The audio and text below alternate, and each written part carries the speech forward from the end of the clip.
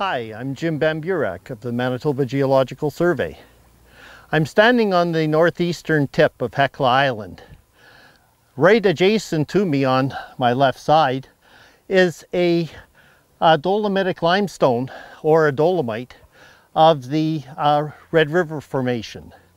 It is the uh, Dog Head member of the uh, Red River, the lowermost part of the Red River Formation. Directly below this would be the unconsolidated sand, or relatively unconsolidated sand, of the Winnipeg Formation, the silica sand with uh, some minor clay.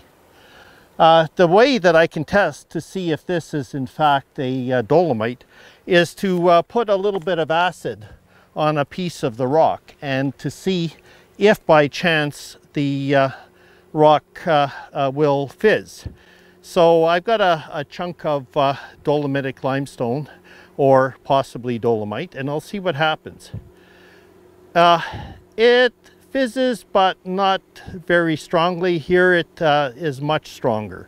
So yes, I would call it a dolomitic limestone.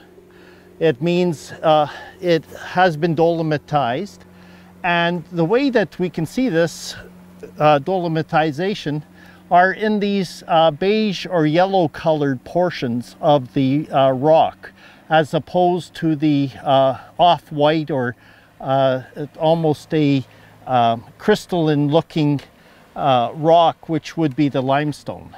So I'll try a little bit of acid over here and yes it fizzes quite strongly in through the whiter portions as opposed to the yellow portions in here. It's roughly about an inch across uh, in, in these particular uh, mottles uh, of the um, uh, this dolomitic limestone. Uh, these blocks are roughly about a meter or two in thickness. And like I said, they're directly above a soft sand.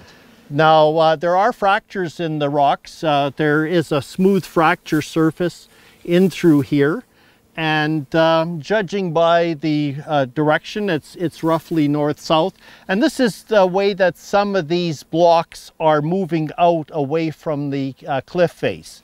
What will happen is uh, rainwater and uh, ice uh, will form uh, the rainwater will drip through these fractures and cracks the ice will actually expand and break apart the rock and you actually get separation along these uh, joint surfaces. Uh, the rock is relatively thin bedded. Uh, there's maybe about uh, uh, a few uh, centimeters or maybe up to 10 centimeters, 8 to 10 centimeters thickness in these joints that are horizontal in through here. These also contribute to the way that the rocks will break and fracture. So uh, it is an active shoreline, uh, especially with higher water levels.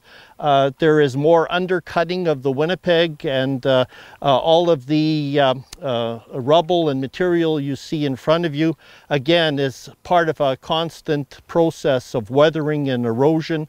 So technically, we're losing a little bit of Hecla Island in this place every year. a little bit of it is going into Lake Winnipeg and uh, the island uh, gradually through time is, is shrinking.